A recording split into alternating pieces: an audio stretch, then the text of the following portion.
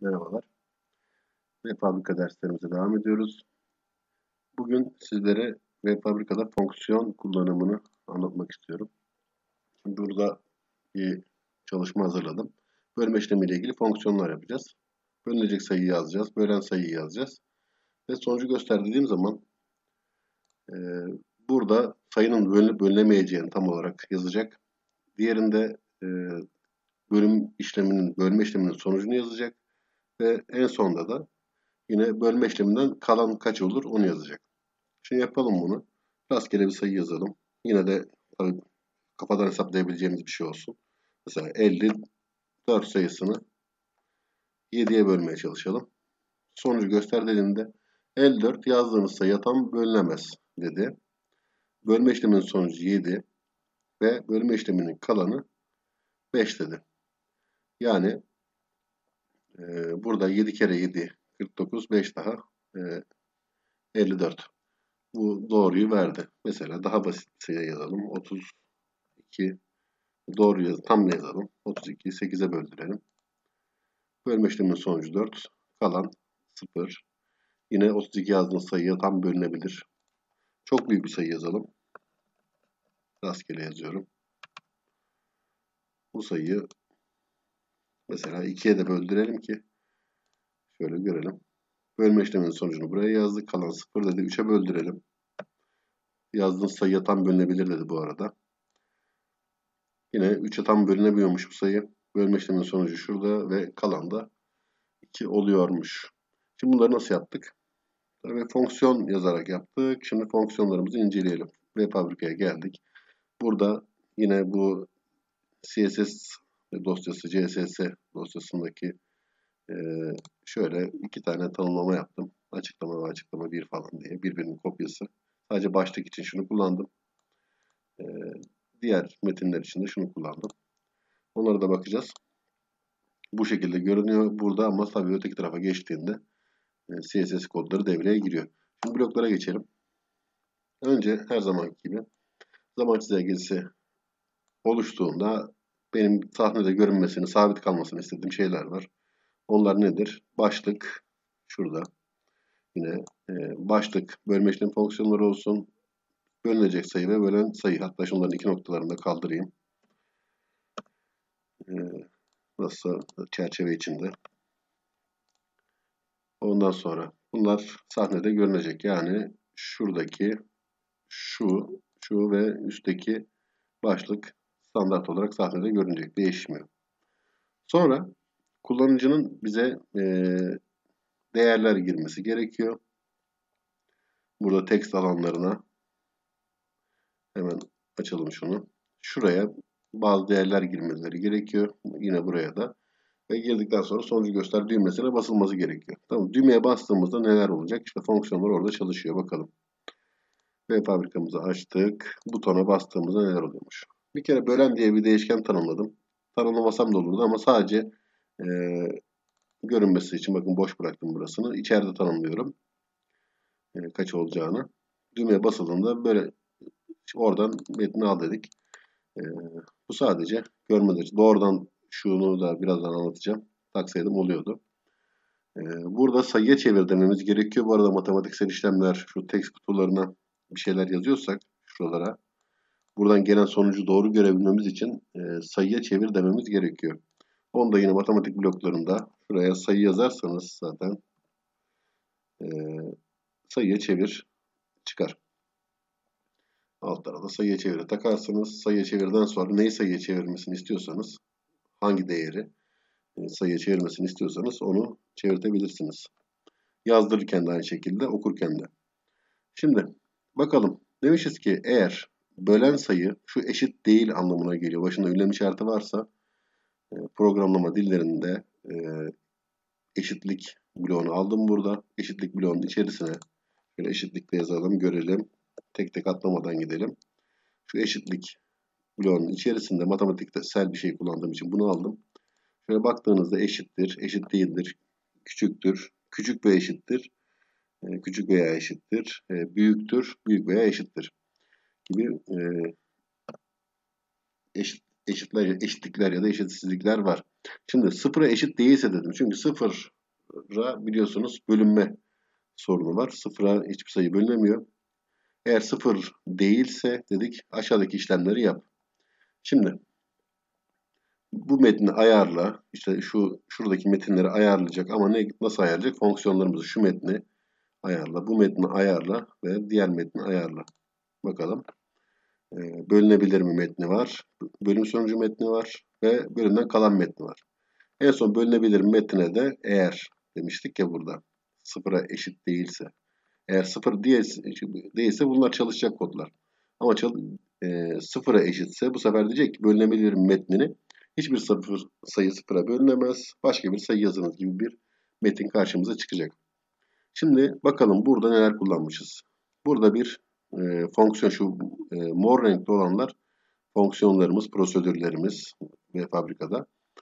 E, fonksiyon kullanmışız. Bölünebilme fonksiyonu, bölüm sonucu diye bir fonksiyon kullanmışız ve e, yine e, bölümden kalan diye bir fonksiyon kullanmışız.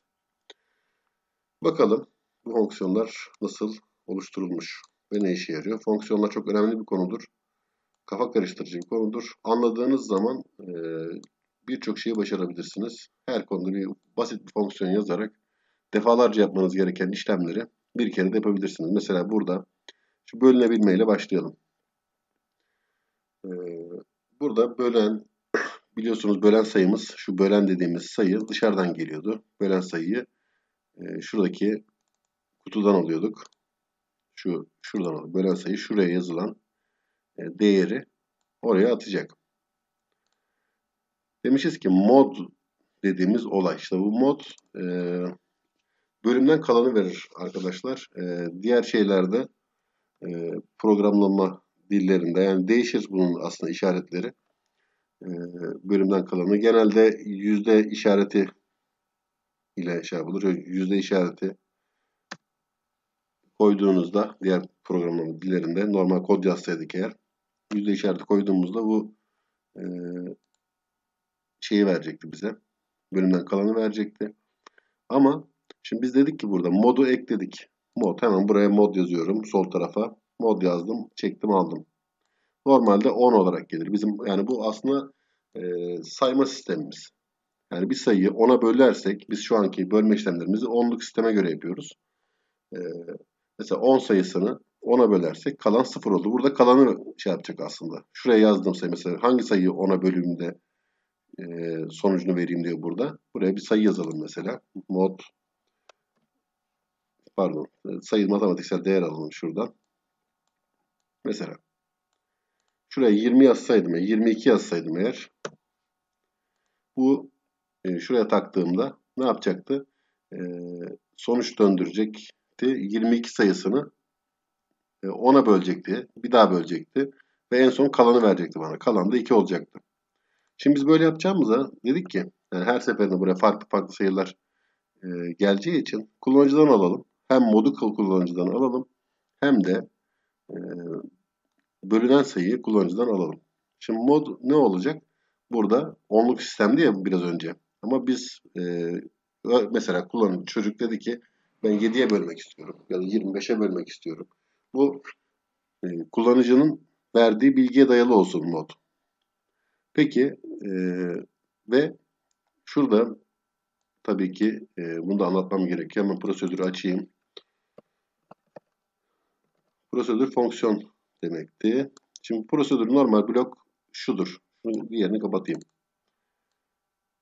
Normal bloğumuz bu. Bu prosedüre e, şuraya ne kod yazarsanız çalıştır dediğimizde mesela bloğun içine düğmenin içerisine bloğu taktığımızda oradaki prosedür hangi prosedürü seçeceğiz? Şu prosedür 1 mesela buradaki. Or şu bloğun içerisine eklediğimiz her şey gerçekleşir. Bu e, normal bir şey. Mesela hemen yapalım prosedür 1. Bir ses ekleyelim. E, uyarı sesini sola çal diyelim mesela. Prosedür 1 şu şekilde. Bir de çalıştır diyelim. Yani şuraya e, İkinci bir düğme ekleyelim. Şu düğmenin özelliğini kaçırmayalım. Ee, şuraya gelelim. Buton diyelim. düğme pardon Türkçe olduğu için. Şimdi bu şu düğmeye bastığımızda da fare olayı ekliyorum buna. Sağ tıkladım üzerine fare olayı ekledim. Buton 2'ye tıkladığımda fonksiyonu çalıştır dediğimde, prosedür bir fonksiyonu çalıştır dediğimde buradaki e, doğru sesini verecek. Hani biz genelde prosedürleri bitirme prosedürü olarak şey yapıyoruz ya.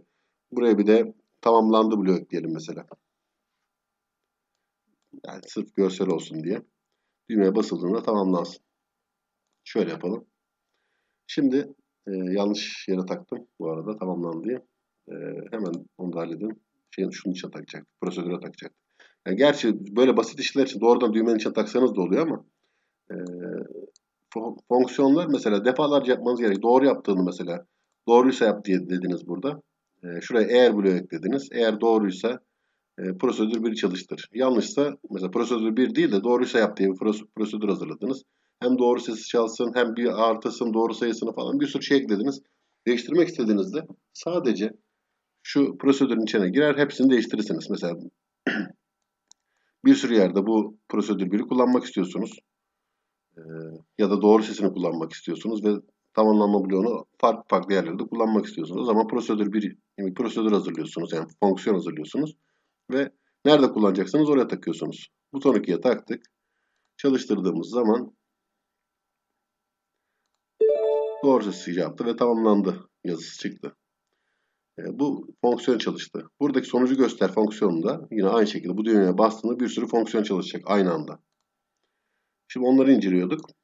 Şimdi prosedürlerin şu çark var burada bakın. Çarka tıkladığımız zaman girdi ekleme olayı var. Bu çok e, kafa karıştırıcı şey olabiliyor. Bunu anladığınız zaman zaten olayı çözmüş sayılırsınız. Şimdi buraya girdi dediğinizde buraya x ve e, iki tane x koyuyor. Mesela bunların ismini ver diyor.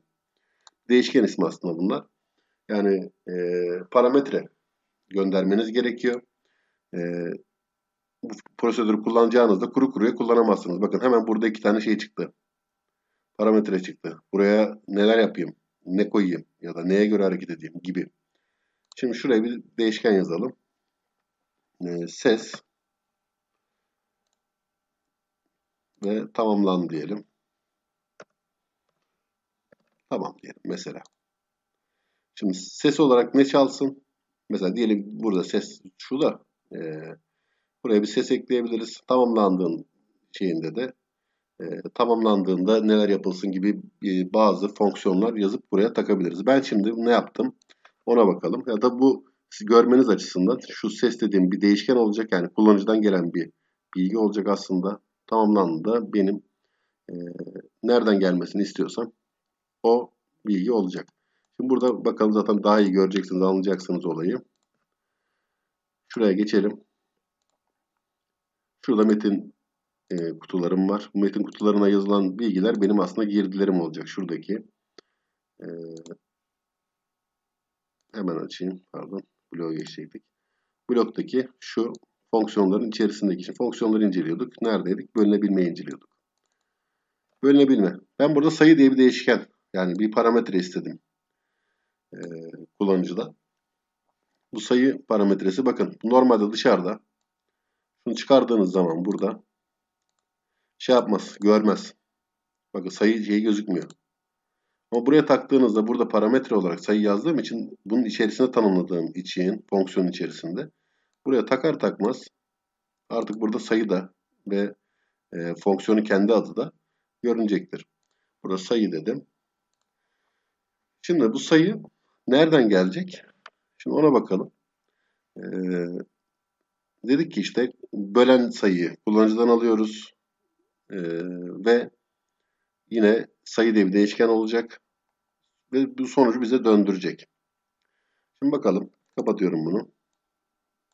Buton bir fareye tıklandığında bakın ne olmuş. Ben şu bölünebilme fonksiyonu çalıştıracağım diyeceğim ama sayıyı nereden alayım diyordu ya biraz önce. Sayı istiyordu bizden. Bölünebilmeyi çalıştır deyip eklediğim zaman bu arada bu çalıştırın iki türlü versiyonu var. Yani aslında tek de çalıştır diyorum. Eğer sonuç döndürmek istiyorsanız şunu aldığınızda bu, bu doğrudan takılı, doğrudan çalıştırılabilir. Ama bunu siliyorum.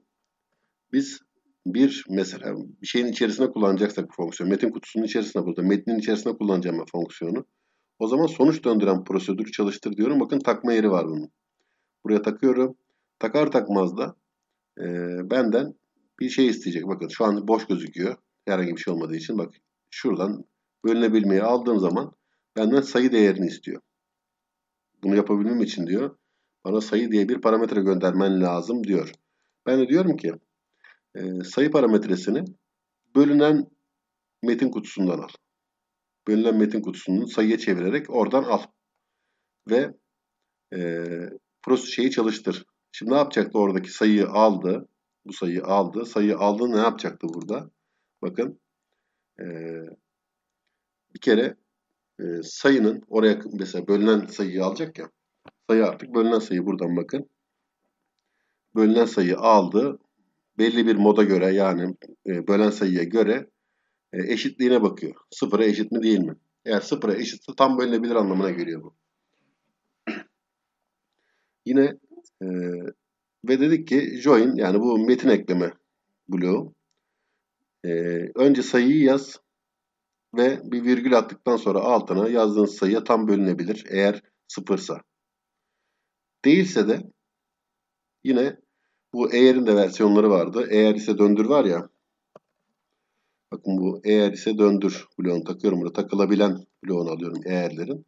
Diğerleri takılabilir değil. Bakın bu zaten e, şu, şuraya geçebiliyor. Bu doğrudan takılabiliyor. Yani bir birkaç versiyonu var. Araya atıyorum yani bunu. Eğeri sonuç döndürmenin içerisine.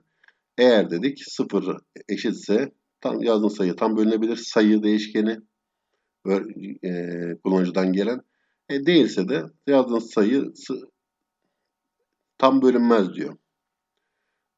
Bunu yapacak. Şuraya sayıyı girer girmez. Şuraya sayıyı girecek.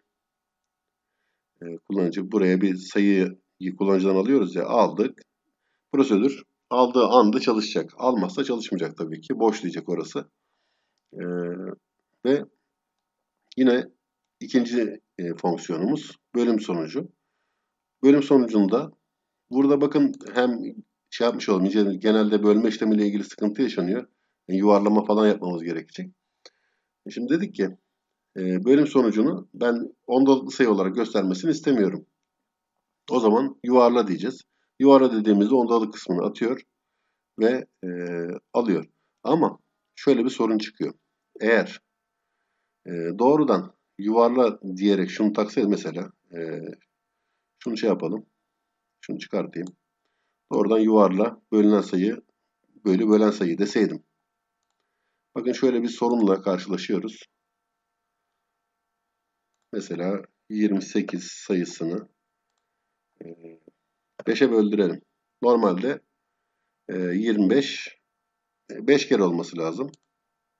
Ama burada 6 yazıyor. Çünkü e, yuvarladığı zaman 5'ten e, büyük olduğu için sonuç ne yapıyor? E, 6'ya yuvarlıyor. Normalde 5 kere olması lazım. O zaman bunu nasıl şey yapabiliriz? E, çok kolay. Biraz düşündükten sonra e, neredeydi o? Nereye takmıştık? Nereden çıkardık daha doğrusu? Bölüm sonucundan çıkardık. Şöyle yuvarla. Heh, Evet şu eğerin içine doğrudan takmıştık. Ee, bunu çıkartalım buradan. Şöyle kaybolmasın. Bunu alıp şuraya eski yerine takayım. O değilse doğrudan o işi yapsın. Ay, içinden mi çıkardık onu ya? Yanlış yerden aldık pardon. Biraz benim sonucu. Ha, şeyin içine, prosedürün içine almıştık ya. Şuradan aldık ya. Şuradan çıkardık taktık. Evet. Yani bunu şimdi nasıl yaptık? Prosedür nasıl çalışacak? Bölünen sayı diye bir sayı alacak. Bölen sayı diye bir sayı alacak yine. Değişken alacak. Yani burada e, bakın şunları dışarıya çıkardığım zaman yine görünmeyecekler. Şöyle yaptığım zaman fonksiyonun dışında öyle bir şey yok. Sadece fonksiyon içinde tanımladım ve e, bölünen sayı bölü bölen sayıyı yuvarlayacak ve sonucu gerçek bölme işleminin sonucundan büyük çıkarsa Mesela 20, e, 2,5 çıktı sonucumuz. Burada. E, şurada. Normal sonuç 2,5 çıktı. Ama burada 3 çıktı. Yuvarladığı zaman 3 çıkıyor. Büyük çıkıyorsa dedim o zaman sen ne yap? E, bölünen sayının yuvarlanmış halini bir azalttıktan sonra yuvarla. Bir azalttıktan sonra yuvarla. E, mesela 6 çıkarsa 5 yapacak. 7 çıkarsa e, 4 yapacak. Tabii büyük çıkarsa sadece. Değilse de normal sen yuvarlanmış sonucu yazabilirsin. Dedik ve bu nasıl çalışıyor sonuç olarak? Biraz önce baktık. Buraya yazdığım zaman şöyle çalıştıralım. Artık 28'i yine 5'e böleceğim. 5'e bölüyorum. Sonuç 5 çıktı. Kalan 3. 5 kere 5 25. 3 daha 28. Yani bu hatayı da bu şekilde engellemiş oluyoruz. Sonra son fonksiyonumuza gelelim. Son fonksiyonda bölümden kalanı gösterme. Bölümden kalanı gösterme zaten modlu. Burada e, birinci fonksiyonda da kullandık aslında. Burada sadece sıfıra eşit olup olmadığına baktık. Şu bölünebilme fonksiyonunda. Yine mod kullandık. Aynısı bakın. Şöyle. Ee, bu sadece bölme işlemini yani mod olayını yap ve sonucunu yaz. Burada mod böyle şunu içerisinde bak şunu kullandık buraya taktım olduğu gibi. Burada ise sıfıra eşit olup olmadığını test ettik. Sıfıra eşitse bölünemez diye ayrıca bir yazı yazsın istedik. Burada da dedik ki sonuç döndür doğrudan yine prosedürlerin içerisinde şöyle sonuç döndür var. Doğrudan sonucun döndürmesini istiyorum. Ee, sonuç döndürdüğünde yani şu işlemi yapacak sonucunu hafızaya alacak. Ben çalıştır dediğim zaman benden bölünen sayı ve bölen sayı isteyecek. Şuradaki gibi. Bölümden kalan fonksiyonu çalıştırdığım zaman bölme işleminin kalanı diye bir şey yaz. Sonuna da e, bölümden kalan bölünen sayıyı istemiş benden. Bak ben de demişim ki bölünen metnini al ve sayıya çevir önce. Yine bölen sayıyı da e, yine metin kutumuzdan alıp sayıya çevir demişim. Yine bakalım çalıştırdığımız zaman da şöyle bütün sonuçları görüyoruz. Aslında yani sağlamasını falan da yaptırabilirsiniz. Mesela 32 bölü 6 dediğim zaman 6 kere 5 30. 2 de burada var 32. Yani burada e, bölme işlemi yapıyorsanız şuraya bir bölme işe şey koyarsınız. E, işlem çubukları. Metin kutuları ona göre yerleştirirsiniz. E, yaparlar. Yan tarafa yine bir çarpma koyarsınız. Sağlamasını yaptırabilirsiniz. Kullanmak istediğinizde. Ya da bunları bu mod olayını e, farklı alanlarda kullanabilirsiniz. Bu fonksiyonları yalnız denemeden şey yapmayın. Bunun aynısını öncelikle bu şeyin aynısını bir yapmaya çalışın. Ben şunları da açayım. Şöyle bakın. Şekilde. Hatta e, şunları kapattık az. Yok yanlış yaptık. Şuradan e,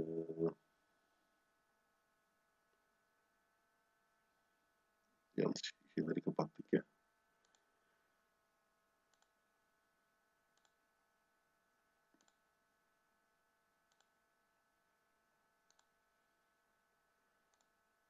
Tercih dosyadan o zaman tercihlere girelim. Böyle şeyler şey yaptı. Ekran düzen dosyaları, dosya tipleri. Ee, başlangıç çözüm aç. Vardı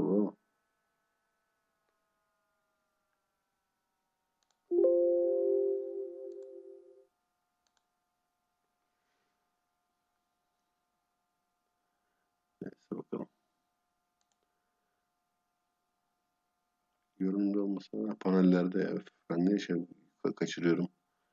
Panellerin içerisinde bloğa getireceğiz. Evet şöyle yapalım. Tamamen görünsün. Şunları daraltalım biraz. Evet. Buradan panellerin içerisinde ben sahneye gittim. E, panellerin içerisinde e, dizaynda gösterebilirsiniz. Yani neyi açmak istiyorsanız onların hepsini gösterebilirsiniz. Şöyle yapalım. Bütün blokları açayım. Buradan bakın şu blok. Yine bölümden kalan zaman çizelgesini kapatabilirim.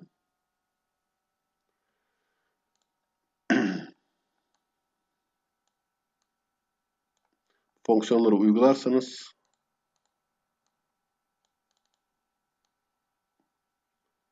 iyi olur. Yani e, çalışmış olursunuz. Bu bölen değişkeni oluşturursunuz, oluşturmazsınız. Bu çok önemli değil. Yani kullan bir kere kullandık onu zaten. Yani onu da sırf kullanmış olmak için buraya taktık. Aslında bölen değişkeni biliyorsunuz buradaki şeyden geliyor. Buraya doğrudan e, şuradan gelen değeri yani textbox 1'in e, değerini de metin değerini de atabilirsiniz şuraya. Ondan sonra yine başka da bir de şu butonumuzu açalım. Butonda neler vardı ona da bakın.